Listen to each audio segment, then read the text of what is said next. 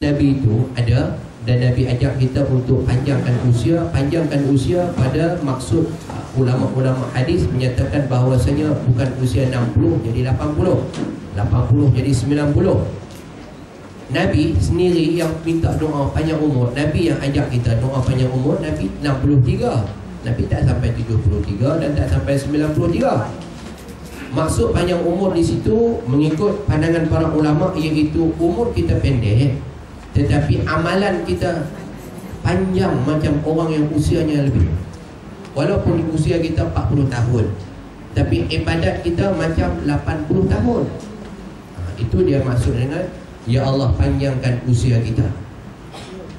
Bila Allah Ta'ala panjangkan usia kita Maknanya mati kita kita tak tahu Sebab ajal maut kita dirahsiakan oleh Allah Allah tak bagi kita tahu bila kita nak mati dan sebagainya. Walaupun ada beberapa pandangan ulama ulama-ulama kata orang nak mati ni dia boleh tahu setengah ulama dah ada sebut dalam kitab.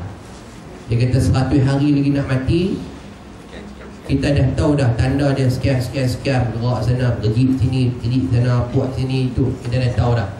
Tapi bukan semua orang tahu itu ilmu laduni ilmu karamah hanya orang-orang yang Allah Ta'ala bagi karamah sahaja dia tahu. Itu pun bukan semua karamah orang dapat.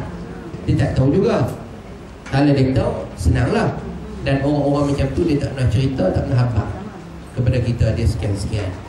Jadi maksud dengan panjang usia maknanya usia kita walaupun terhad sebegitu sahaja tetapi amalan kita melebihi daripada usia.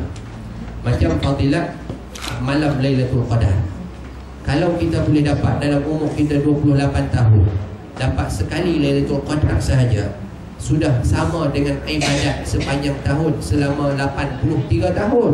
Ibadat satu malam. Kalau dua tahun dua kali dia dapat Lailatul Qadar kalau dah tiga kali kalau sepanjang usia dia dapat? Macam Nabi. Macam sahabat-sahabat Nabi Imam Nawawi, Imam Syafi'i, Imam Malik sahabat dan sebagainya yang dapat Lailatul Qadar usia berapa? Sahabat-sahabat Nabi yang syahid yang umur 40 pun ada, yang umur 60 pun ada, umur 80 pun ada. Uh, Sidina Anas bin Malik umur sampai 100 tahun. Tapi ibadat mereka seperti orang yang berusia 1000 tahun. Maknanya amalan setanding dengan usia orang dahulu. Itu untuk hadis itu. Yang kedua tadi apa dia? Itu saja. Zikir panjang usia. Ha, zikir panjang usia. Dia masuk dia dulu. Zikir panjang usia ni kalau kita berzikir bukanlah untuk dipanjangkan usia. Zikir kita ini memberi pahala dan pahala kita itu ekstra tambahan dalam ibadat kita. Kalau tidak kita hanya berzikir waktu yang wajib. Sembahyang waktu wajib kita berzikir. Habis kita dah. Maka Nabi sebutkan ulama-ulama susulkan ibadat-ibadat zikir macam Imam Ghazali zikir hari Isnin, Selasa, yang Rabu, yang Khamis. Itu zikir, zikir sunat. Makna waktu-waktu biasa kita sudah ada pahala-pahala. Usia kita panjang. Orang yang usia sama dengan kita ataupun mungkin ada usia lebih daripada kita. Sekarang kita duduk dapat pahala. Duduk dalam majlis ilmu dapat pahala sekian-sekian Nabi sebut sepanjang masa begini-begini dan sebagainya. Orang yang tak duduk dalam majlis ilmu dia tak dapat apa? Walaupun usianya 90 tahun tapi mungkin ibadatnya macam orang yang 10 tahun sahaja dan tidak tidak mungkin tidak mustahil orang yang usianya 20 tahun tapi ibadatnya seperti orang beribadat 200 tahun. Boleh dapat? Wallahu a'lam. Sama baik dari soalan di luar tadi